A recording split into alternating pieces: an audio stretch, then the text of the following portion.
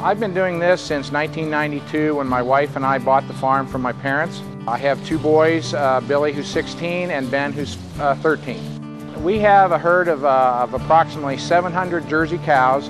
We produce uh, about 62 or 3 pounds per cow per day.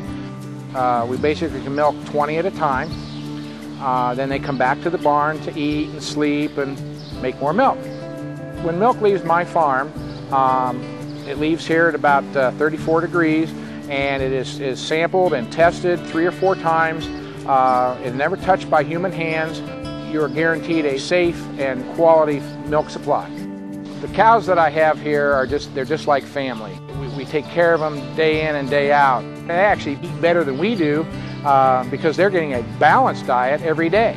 We also use sand uh, to help keep the cows nice and dry and comfortable. Everybody likes to lay on the beach. that's my cows lay on the beach every day. We just try to keep these cows as comfortable as we can at all times. It's one of the best environments that you could raise a family in. It teaches them responsibility, it teaches them hard work, it teaches them about nature, about our environment and the animals and everything that goes into that.